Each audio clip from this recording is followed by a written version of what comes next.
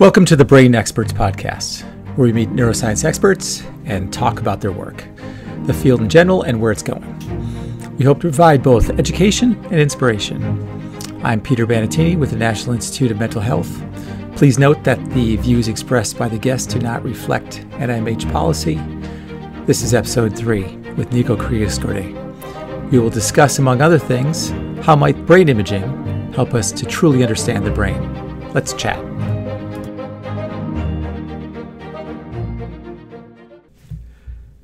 Dr. Niko Kriegeskorte is a computational neuroscientist who studies how our brains enable us to see and understand the world around us. Kriegeskorte's lab uses deep neural networks to build computer models that can see and recognize objects in ways that are similar to biological visual systems. Niko received his PhD in cognitive neuroscience from Maastricht University, held postdoctoral positions at the University of Minnesota, as well as at the National Institute of Mental Health here in Bethesda. Actually, who was in my group and was a program leader at the UK Medical Research Council Cognition and Brain Sciences Unit at the University of Cambridge. Niko is currently a professor at Columbia University, affiliated with the departments of psychology and neuroscience. He is principal investigator and director of cognitive imaging at the Zuckerman Mind Brain Behavior Institute at Columbia University. Niko is also a co founder of the conference Cognitive Computational Neuroscience, which had its inaugural meeting in September 2017 at Columbia University.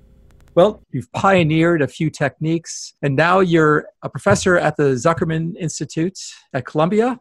So, why don't you tell me a little bit about what motivated you to get started in this area and how your interests have kind of moved you along and where you're at right now? My initial interest was in computer science and psychology. I read a book by Paul Watzlawick and others called Human Communication that inspired me a little bit. So I started analyzing my parents' relationship so then uh, I went to university and I studied psychology initially, and I did some computer science on the side. It was actually quite broad, so it allowed me to explore a lot.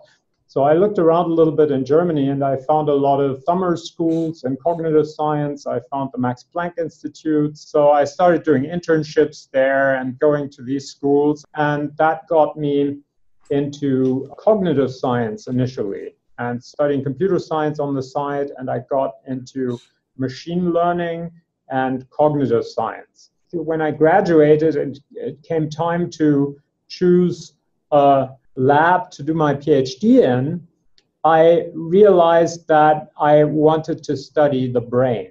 So this was in a period in the late 90s where brain imaging was still quite new. There was this whole revolution going on. We, we could measure brain activity in humans non invasively, was super exciting to me. And then also in electrophysiology uh, in Germany, there was Wolf Singer's group studying uh, representations of visual stimuli and higher level phenomena such as grouping by synchrony. They had some computational work going on as well. I was interested in doing neural network modeling, and that's how I found my PhD advisor, Rainer Goebel, who I became aware of after seeing a talk of his on a neural network modeling project. And I ended up having dinner with Rainer, and he was very excited about what he was doing with brain imaging data, also with fMRI data already. After finishing my degree, I did an internship at the Max Planck Institute and became a graduate student there. And initially, to do neural net modeling all the way, that was my plan. And I was not interested initially in doing empirical work, but then everyone at the Max Planck Institute was measuring brains. We and I did some some rotations helping with that. And then in Rainer's lab, people were doing fMRI, and I got sort of drawn into that for the next. I was um, working with fMRI and thinking about how to analyze fMRI data. So that was quite a transition for me, and it's never been easy for me to be an empirical scientist because I, there are several aspects of it that I find actually difficult. I mean, it is always this tension between collecting this messy data at a very specific spatial and temporal scale, model the data itself or, or trying to actually model the underlying mechanisms behind the data. So that's really hard work. What is your research now?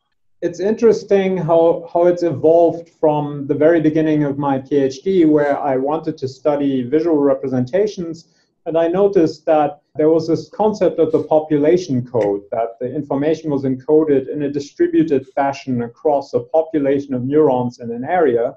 And at the same time, we were using fMRI and we had significantly higher resolution than we did earlier with HAT and with early versions of fMRI. So we could measure these fine scale patterns.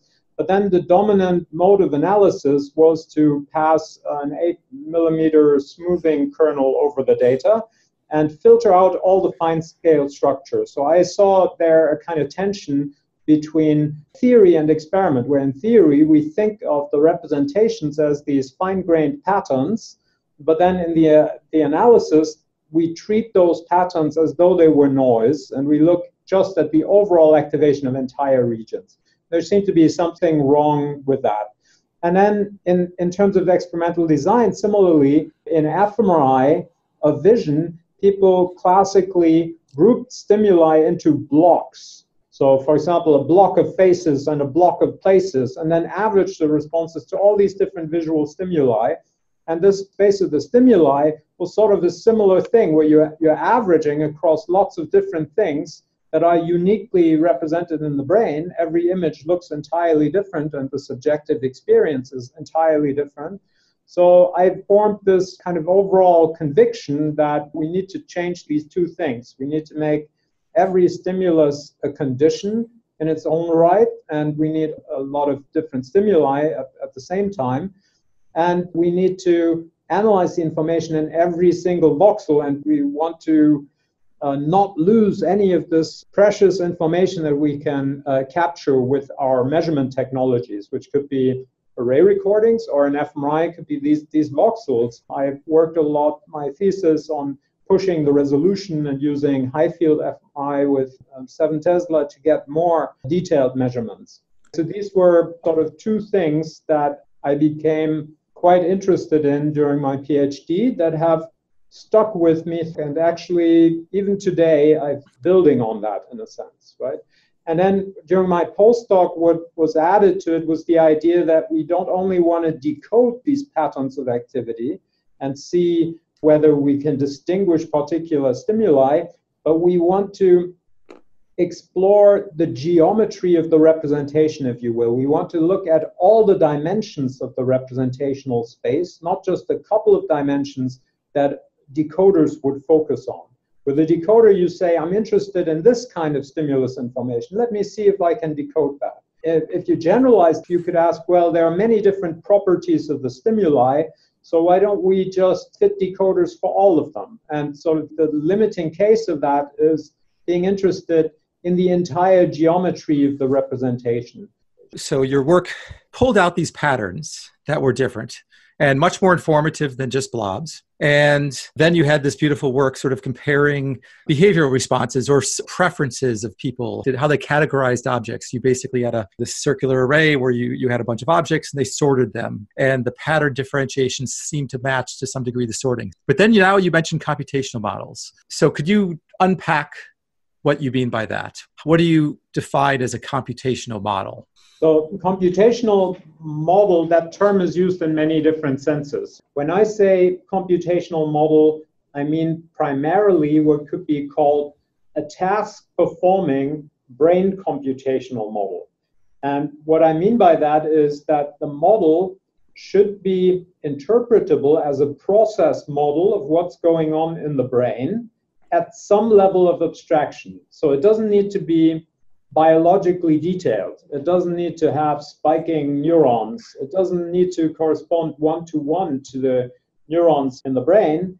It doesn't even need to be a neural network model. In psychophysics, there's a lot, a long history of more abstract models of the information processing that still have the flavor of wanting to capture the information processing that is go- going on in the in the brain in a way that captures task performance. And the idea is that in order to link cognition to the brain, we need a model that implements a hypothesis about how the required information processing might work. Okay. So that leads actually to the to the next question, which is kind of the prevailing question over all this. So we have the abstraction, the computational model, we have the data, and we have ever more sophisticated data. We have ever more sophisticated models, everything from linear models to, to nonlinear models to sort of neural networks and, and convolutional uh, neural networks. So they're hopefully going to meet in the middle. The goal here is to understand the brain. And we need to define that. And how would you define understanding the brain, first of all? And what do you think that would look like? How would that be? Would we be able to simulate it or emulate it or make one? What would that mean? That's that's a great question, and I think a very important question. We need to carve up all of cognition with different tasks, and the tasks kind of bring the information processing and the behavior into the lab and make the performance measurable, and allow us to quantify how well a given system, a brain or a human brain or an animal brain or a computational model can perform the task. And they also allow us to measure in, under what conditions task performance suffers, under what conditions uh, the system makes mistakes or takes longer or things like that. And this gives us behavioral characterizations of task performance that we can compare between models and brains. And at the same time, we want these models to relate to the brain itself, not just to produce the behavior, to be able to perform the tasks and match the patterns of errors as well. We're not primarily interested in the engineering objective to do the task as well as possible, but we also want to match the situations in which uh, the human brain fails, for example, or the situations in which a subject might take much longer to recognize an image. So that's the behavioral level. And then in addition, we want to be able to relate the dynamics inside the model to the dynamics in the brain of a human or animal performing the same task. And that's a very interesting methodological challenge that is not a purely technical and methodological challenge, but that gets to the core of some fundamental theoretical questions of neuroscience, including at what level of detail can we hope to make this comparison to find correspondency? How should the correspondency be defined between the dynamics in the brain and the dynamics in the model. And so, in this way, we want to be able to compare the models in terms of their behavior and in terms of their internal activity to human brains. And we have succeeded when it is no longer possible for cognitive scientists to come up with tasks at which humans outperform our neurobiologically plausible models. Okay. When so it's going to be sort of a somewhat fun adversarial cooperation, I think, between cognitive scientists, many of whom will be multidisciplinary cognitive scientists, I'm guessing. But some in our community will focus more on sort of the behavioral aspect of it. And I see it as their job to design the tasks and program these tasks and share them with the community that highlight exactly what neural network models or cognitive models more generally can't match in human behavior. Okay. At the moment, it's still easy for them to do that. But when we get to the point where th- this is dwindling and there is nothing you can come up with anymore, where we can't find a neurobiologically plausible model that can match the task performance, that's when we're done to use one quick example, you know, something like playing chess or Go, computers can outmatch humans. They can outperform cognition. And it's very likely that they use an algorithm. And if you were to model that process computationally, an extremely different process at all spatial and temporal scales and, and all you know defined by its architecture as well so are we really gaining insight to the brain by designing better AI algorithms that might outperform humans, but for all very different reasons. It's not just simply matching performance or outperforming them, but they're doing something that lends itself to the fact that it can compute so much faster, but the algorithm might be much less efficient. There might be many variables in play that maybe not add up into understanding the human brain. Absolutely. I think this is a great example. So chess or Go or these games, actually, they have a long history in cognitive science as well. Alan Newell, in his essay, You Can't Play 20 Questions with Nature and Win, I remember correctly, as a possible uh, test case for cognitive models. We were done with that task. We wouldn't understand how the brain works. We would just understand how it works for that task, right? And that's why I'm saying we need all the different tasks. I see. We understand that now for chess, definitely not, right? So for chess, engineering has surpassed human ability. However, that doesn't mean that we know how humans play chess. Right. Of course, the fact that we, within our reach in terms of engineering, helps us a lot in modeling how humans play chess. But it would be a very interesting and cutting edge project now that we are at the stage with the engineering to revisit the question how humans play chess. Right. And you already brought up all the ways in which the programs that have superhuman performance are different from the human brain, right? So that's why it's important. We want to match not only the general level of performance, we also want to match the limits of performance, the kinds of mistakes that humans make, and we want to match the dynamics in the system. So we want to be able to, to relate the representations in the chess playing neurobiologically plausible model to the dynamics in the brain while playing chess. And we want to be able to explain how humans acquire it. For example, how much do they have to learn, right? A lot of these models, for example, for AlphaGo Zero, they do a lot of self play. And they do an amount of self play that is impossible for a human to perform. Right? right. That's how understanding the brain is fundamentally different from the AI engineering challenge. Although the AI engineering challenge is a key component of all of this, right? Which is why AI is a key component of cognitive computational neuroscience. Do you think really neuroimaging data, how much, how limited is it in terms of informing really true models of how the brain is actually working? All our data are limited, right? We can yeah. think, I think someone said behavioral data or reaction times is like having a single measurement for the entire system. It's like having one voxel, by being just a unidimensional measure of the entire system, it gives you a lot of constraint, right? If you combine it, so all of cognitive science is based on human behavioral data, right? It's not just reaction times, obviously. It's, you can have much more complex data, but it's usually low dimensional data, and it's thought to be extremely powerful in combination with the constraint that your model has to be able to perform the task for adjudicating between models.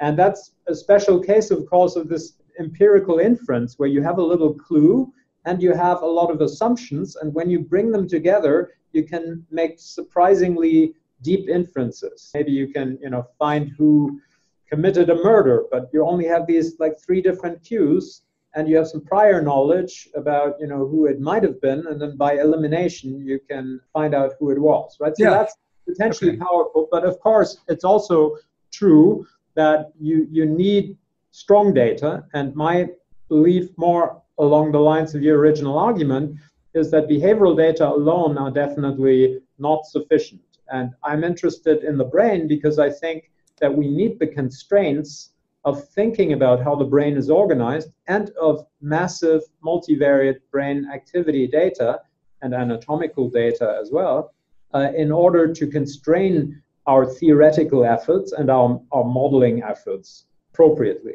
But this was just to illustrate that even this sort of overall measure can constrain your theory.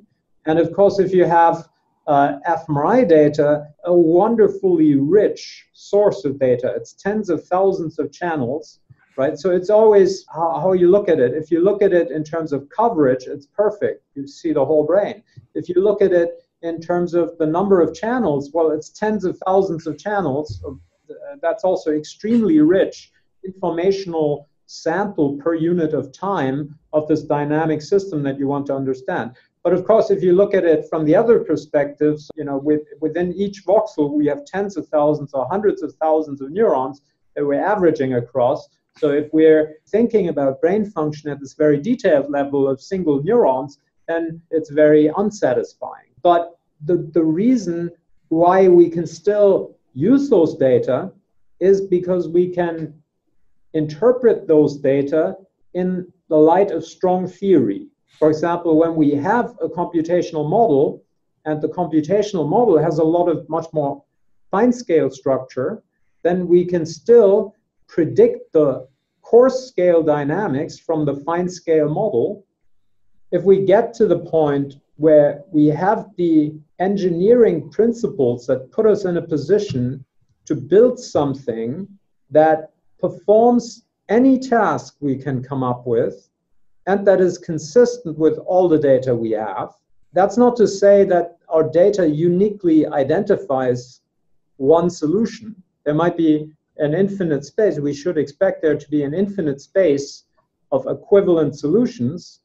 But there's also a large population of humans. Everyone's brain is different, but still, at the level that I'm interested in it, our brains are identical. What I want to understand is not exactly what does a particular neuron in your brain do, but I want to understand what all those neurons do together.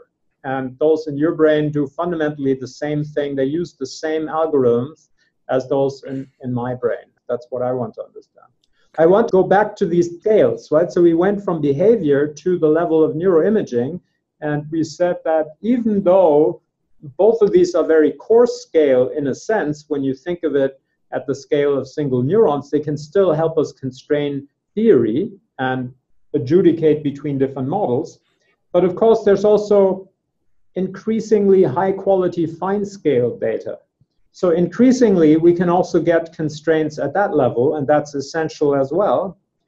But then of course also at the same time if we take those incredibly rich and beautiful data and analyze them only with data driven approaches and with insufficient theoretical constraints, we also don't make a lot of progress. Yes. Right? So it's all yes. about combining this, this strong theoretical perspective with rich data and linking these two up very well so that we can combine the theoretical constraints and the data in an optimal way so as to invade the huge canyon between them.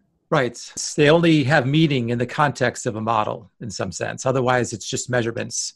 So you look at yourself now as basically a model builder. It's true that I kind of came full circle from the initial interest in neural networks and machine learning in the 90s, then, you know, with this empirical science, and now we're doing a lot of modeling again. How do you see that actually ratcheting forward? I mean, every single model is falsifiable, it's all testable but the data are maybe not good enough to necessarily falsify the model. So, so often our data tend to be limited, but they're often good enough to eliminate our models. Okay. We compute a number that characterizes how well a model explains the data.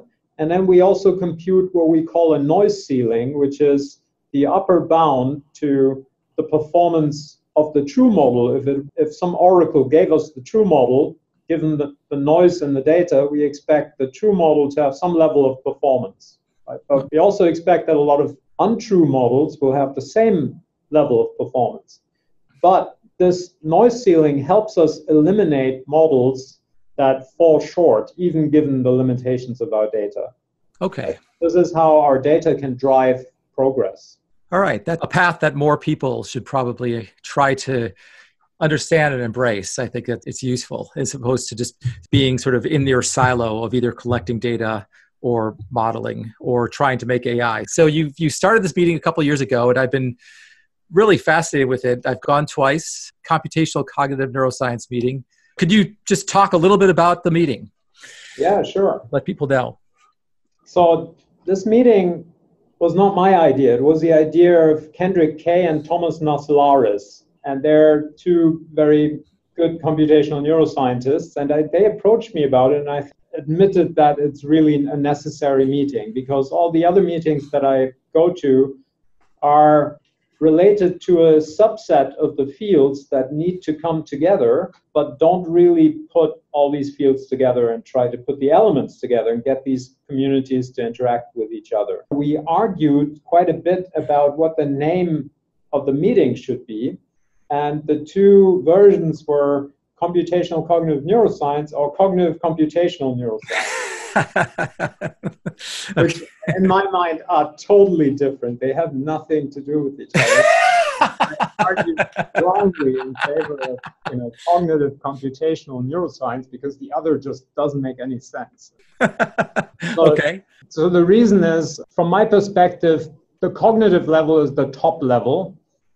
Computation is the glue that relates cognition to the brain. That's one reason why computational should be in the middle there. Another perspective is that it's cognitive science plus computational neuroscience. So we kind of wanted to keep the computational neuroscience intact there, the second half, right? And the other perspective is that it emphasizes something that's missing in the current scene, and that's the top down component starts with cognition. It starts with the task. It starts with the idea that we want to understand how cognition works. And then we use those top down constraints to interpret our data, which can be behavioral data or brain data, or it can be at a very detailed level also. You can think of it as, as cognitive science finding roots in neuroscience, or you could think of it as computational neuroscience, which has always been about understanding components of computation that might be useful in the in the context of cognition but it hasn't really fully related it to cognition. So you could think of it as computational neuroscience growing up toward cognition. All right. Is there anything that you'd like to highlight as, as a recent advancement that you're excited about? So there are huge advances in brain inspired ai in the last couple of years and deep neural networks are a big and famous one. And I think this is really a revolution, and not just for AI, but also for brain science, because it vindicates the old intuitions that this intermediate level of brain inspired computation that abstracts from a lot of details of the biology is already very useful. And that gives us a common modeling language that links cognitive science and computational neuroscience and AI. And that gives us technology and software tools that enable us to implement our theories in these task performing brain computational models. And what that means is that there's really no excuse anymore in a way, right? So when this started a few years ago, when I thought about how I think vision works, and vision is what I'm trying to understand every day, I didn't really have a very good understanding of my, my own intuitions. And that's due to do with the fact that for a dozen years, I'd been thinking almost exclusively about how to analyze my data, my brain data. I'd been thinking about multivariate data and about uh, modeling the noise in those data and about being statistically efficient in my analyses and things like that. But I was not thinking on a daily basis about how does the brain achieve these amazing things? How does it compute? And now that's totally changed. So what I think about when I fall asleep is neural networks and computation in neural networks, and I like that very much. And if someone has a theory and thinks they understand some aspect, for example, of visual recognition, there's no excuse for not implementing that in a neural network model and then showing, on the one hand, that it really is capable of performing the task, but also that it uh, predicts behavioral patterns of reaction times and errors and brain activity data, right? So this has this kind of brings to the fore this kind of central challenge of how does the brain information processing work and it's it's very exciting that we're we're meeting that challenge head on. And in engineering, also there is massive creativity in terms of architectures for neural networks and invading new kinds of tasks that were never before thought to be tasks for machines. Hmm. Think, for example, of the task of creating an image, right? So the task, give me an image. It's supposed to look like a photo, but could be anything. This is not the kind of task that a few years ago we would have associated with a task for a machine. It's more of a creative task. But now, with, with neural networks, engineers are thinking about these kinds of tasks. And of course, many of them are not thinking about the brain does this, and that's as it should be. But in brain science and in cognitive science, people are using the same kinds of models to explain how the human mind and the human brain achieve these feats. Well, thanks. So, okay, the last final question. If someone was either established in a field or just starting out, is there any pieces of advice that you would give them to help navigate? I guess two things come to my mind. The list is long, and so take this with a grain of salt. But the two things I think of first is choose good advisors. So I chose two great advisors, Rainer Goebel and you, uh, and they enabled me to uh, my way, and they gave me their wisdom, and they gave me the freedom that I needed to explore my ideas and follow my my intuitions, and they always supported me, and that was, I think, absolutely key. And the second thing maybe is to trust your intuition about what's interesting. So for me, it's happened time and again that I had an intuition that something was somehow deep or interesting or attracted me, and I couldn't always immediately fully rationally explain it or explain it to others. And I also met others that said that's a bad idea for an experiment. And some of these things I didn't do and others I did do. But when I look back at maybe a dozen or so ideas, usually when I was very excited about it, at it, I'd, I'd say today there was a reason for that. In some cases, I realized the idea, and I later noticed that it was important in ways that I hadn't anticipated. In other cases, I was scared off, maybe, or you know, someone maybe there was a project meeting and people had good arguments against, and then I didn't do it. But in more cases than not, years later, I found other people are pursuing it and doing really interesting things. So I think trusting our intuition there and following what we feel is interesting, or there's some mystery there. I think that's great advice, and I appreciate the the compliment regarding the advising. Well, uh, yeah, just like to thank you and appreciate the time that you spent and and wish you the best of luck in the in the future. See you soon.